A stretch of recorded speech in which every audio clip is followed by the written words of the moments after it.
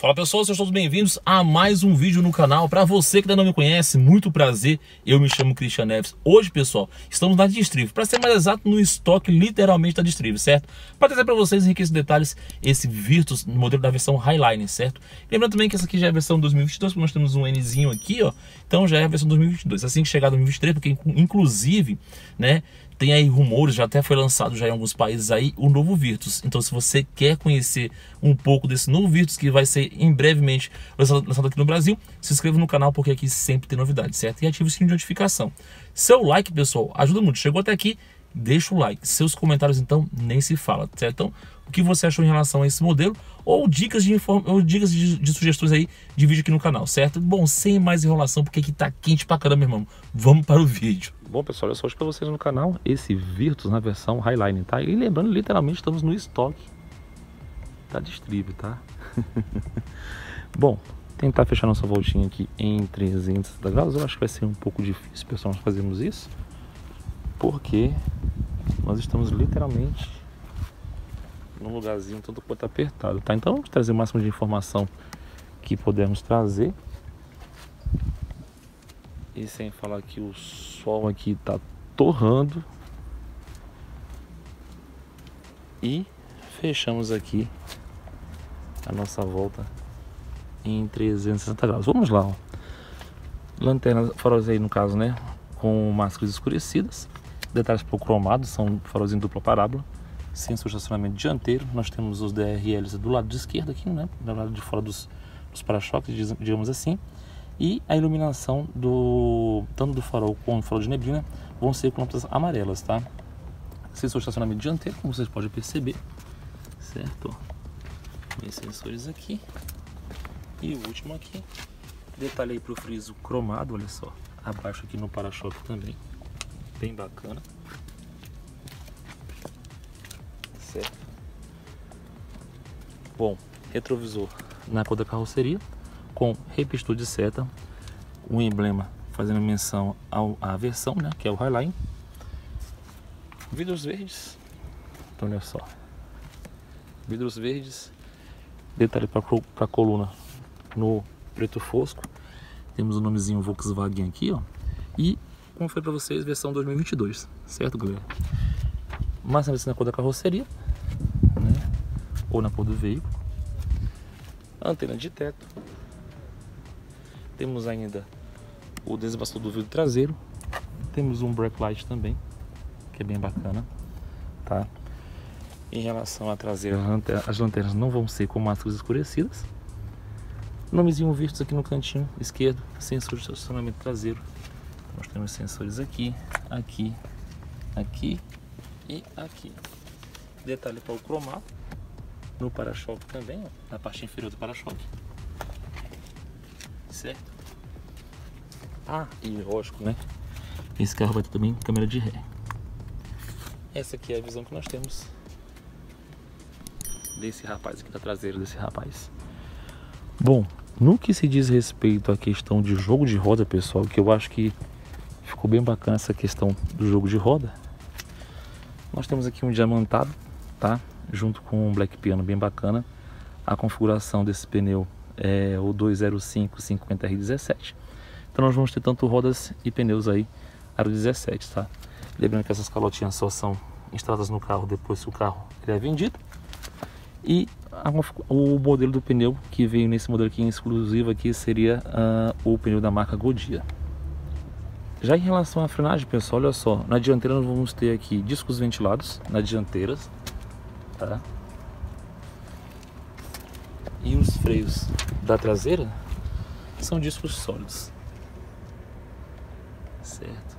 São a questão, tá? De suspensão, esse carro vai ser independente McPherson na dianteira, tá? E na traseira são eixos de torção com molas helicoidal. Bom, já em relação aos itens de séries, né, bem como os opcionais, esse carro vai contar com controle eletrônico de estabilidade de tração, bloqueio eletrônico do diferencial, tá? Assistente aí de partida em aclive e subida, Ainda temos aqui sistema de alarme anti-furto com comando remoto, sensores de estacionamento dianteiro e traseiro, controle automático de velocidade, indicador de controle de pressão dos pneus, tá? Post collision brake. Esse carro vai contar com quatro airbags, tá? São airbags frontais e laterais. Ainda vamos ter quatro, quatro alto-falantes, duas tweeters, tá? um ar-condicionado digital Climatronic com filtro de peripolo. Então é o ar de uma zona só. Já é o ar novo, né? Que já vem equipando aí o Nivus, enfim, alguns modelos mais recentes da Volkswagen. Esse carro vem com ar digital, mas não é de duas zonas, tá? Detector de fadiga, né? Função tilt down do lado direito, ou seja, quando você vai engatar a marcha ré, o retrovisor aqui, pessoal, do lado do passageiro, ele faz o rebatimento para você poder olhar aqui o meio fio, né? Vamos dizer assim, a calçada para não encostar os pneus. Com um sistema de som touchscreen, né? O VW Play, que já é a nova multimídia aí de 10, 10 polegadas, tá? Uh, obviamente colorido, que é bem bacana. Sistema start stop também.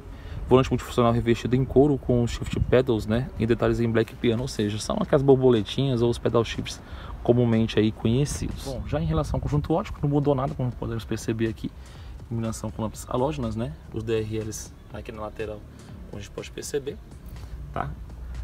Essa aqui é a imagem que nós temos aí parcialmente do conjunto ótico em funcionamento.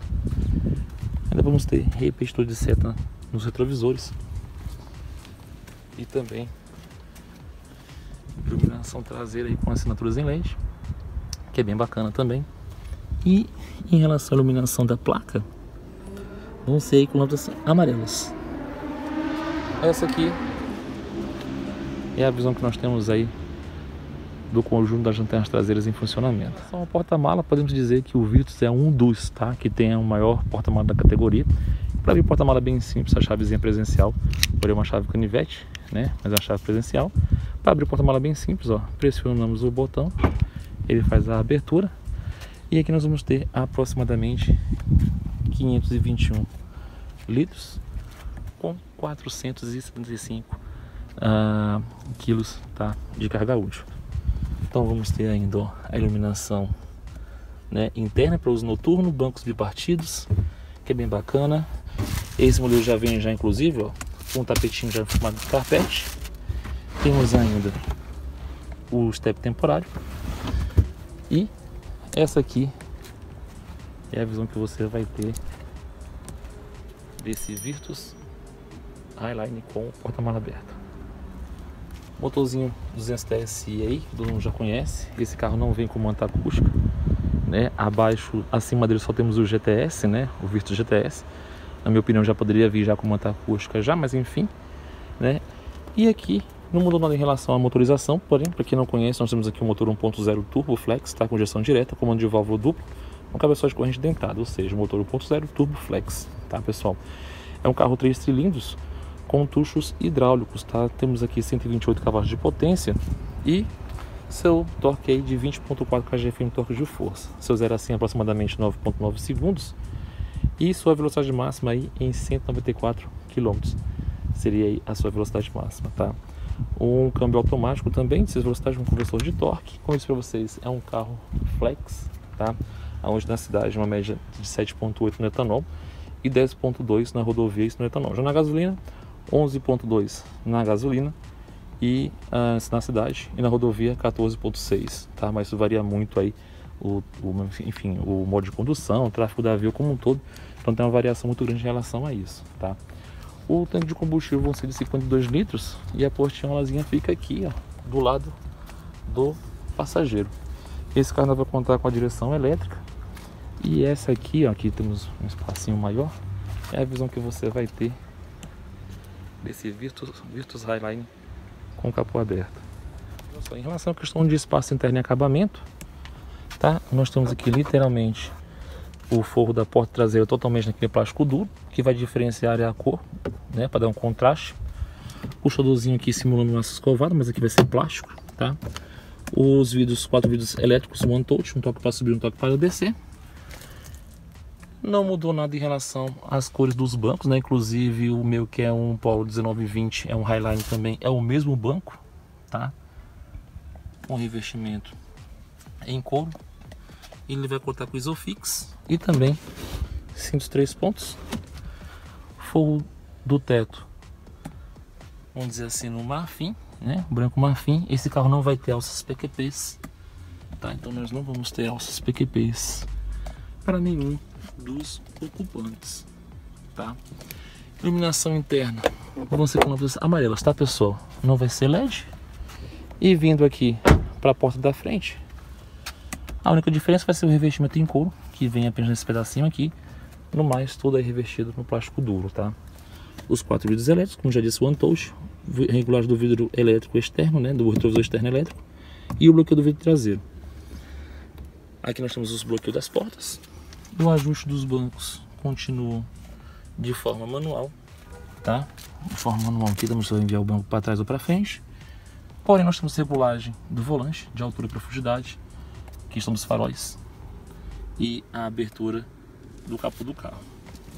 Os bancos, pessoal, como foi para vocês, né? Quando os bancos vêm assim, a gente não mexe, mas é o mesmo desenho. Não dá pra gente perceber por aqui a diferença dos bancos traseiros, tá? Vamos ter aqui um apoio de braço com regulagem, ele pode vir para frente ou para trás. A única coisa que eu não gosto aqui, porque literalmente é igual, igual do polo, se eu coloco para cá e eu encosto o braço, encosto o braço ele desce, tá? Mas tudo bem. Nós temos porta-objetos, porta-copos, tá?